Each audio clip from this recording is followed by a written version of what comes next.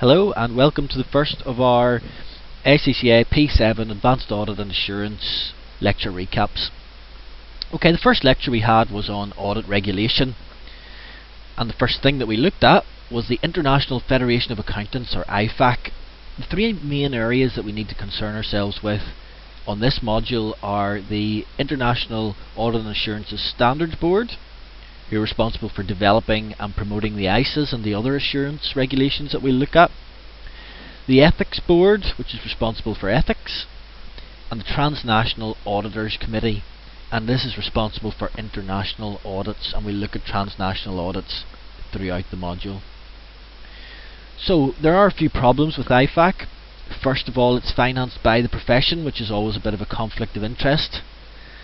Also, there are differing national interests. The US, for example, being very reluctant to adopt international standards. And the power of the big four accountancy firms is also a problem. Solutions to these problems? Well, first of all, there was a forum of firms which sought to seek the input of the large accountancy firms. Again, the collapse of Andersen created a problem with this. So in 2005, the Public Interest Oversight Board was set up it really focuses on overseeing the IAASB. So, global problems. Well, the first global problem was a harmonisation. It's difficult to harmonise and it's very complex when you're trying to cross borders and implement international standards. Another problem was Enron. What happened at Enron? Well, first of all, there was off-balance sheet transactions. Subsidiaries were set up and not shown on the Enron balance sheet, where they could then hide losses and avoid tax. They were marking to market at the time, which meant that they were crystallizing profits before they'd actually made them. There was unethical leadership throughout the firm, and there was a flawed culture. Why was it important? Well, first of all, creative accounting was being used, which now has been banned. It was US based, and they thought they had sufficient regulations to prevent this sort of thing global ramifications, it was a very large firm known throughout the world. And of course, the collapse of Andersen's was a very important event for the accountancy profession. So there's a lot of fallout from the Enron collapse. First of all, the US introduced the Sarbanes-Oxley Act, which we'll look at shortly. And the EU introduced the International Standards in Auditing. The UK also did a few things. Uh, it ended the self-regulation of accountancy firms.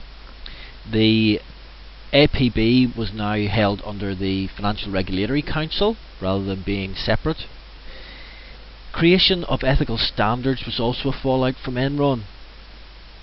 The Public Oversight Board was set up to cover accountancy and actuarial provisions.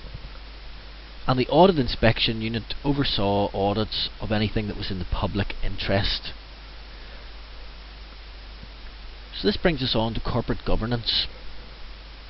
The key points surrounding corporate governance are that we need to have effective management, we need to have oversight by NEDs, non-executive directors, there needs to be a fair appraisal of performance, there needs to be fair remuneration, fair financial reporting, a sound system of internal controls, and shareholders' relations need to be focused on to ensure that they're rights are upheld.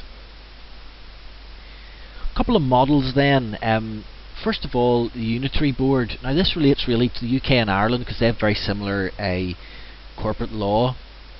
What it means is that the collective board responsibility, i.e. the board all have responsibility rather than the CEO.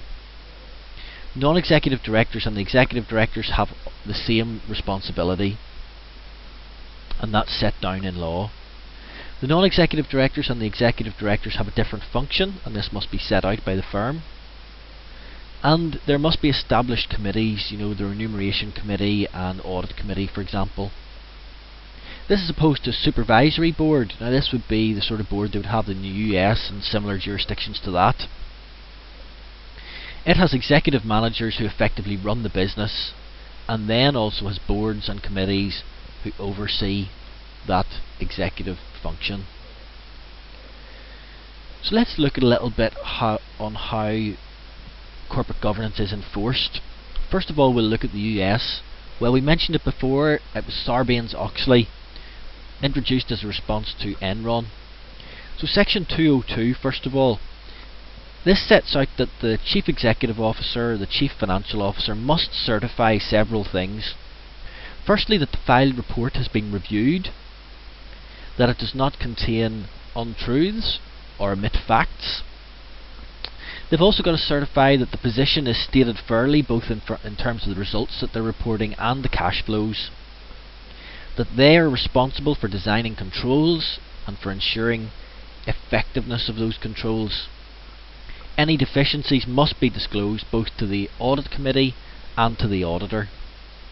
And any control or internal control changes must be disclosed. Okay, so that's section 202.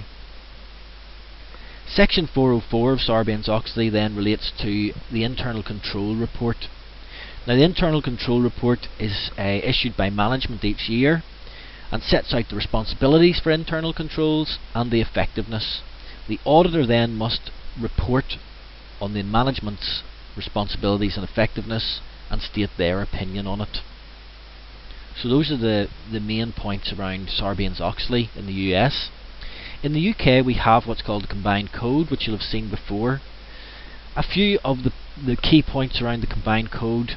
First of all, it's a unitary board, which means, again, we have collective responsibility as we discussed previously.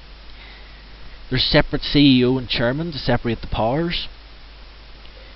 There's a the board members must all have sufficient ability to sit on the board. There must be terms set out for the board development and for the balance of the board. There must be timely information produced by the board. Directors must have their performance evaluated and their remuneration must be disclosed and again there must be sufficient internal controls. So those are the main points of the combined code. If you're not sure on any of them, go back to your notes and just make sure you understand them. The audit committee then is a key point in the combined code. The objectives of the audit committee, well first of all to increase public confidence. If you've got an independent audit committee, public are more likely to believe your accounts. They will provide financial expertise to the board and they'll also provide independence for the external auditor because the external auditor will be able to report to the audit committee. The makeup of the board then, or the audit committee, sorry, they all must be non-executive directors and one member at least must have recent, relevant financial experience. What are the functions of the audit committee? Well, first of all to review internal controls also to review internal audit and the reports that internal audit do. They'll advise on the policies, the financial policies of the firm and review the accounts. They also provide a whistleblowing function for the firm and will also liaise with the external auditor. So what are the advantages and disadvantages of having an audit committee? Well the advantages are that first of all you get better quality accounting because you've got financial experts there to advise You'll also get better communication between the directors and the external auditor. And related to that, you'll avoid conflict because there'll be that communication between the directors and the auditors, and it's less likely that there'll be conflict between the two. So those are the advantages of an audit committee. On the other hand, management may distrust the audit committee. There may be simply too much detail for the non-executive directors to understand management may feel that it may lead to a two-tier board and also it may be more costly than not having an audit committee. So, that was our lecture on audit regulation.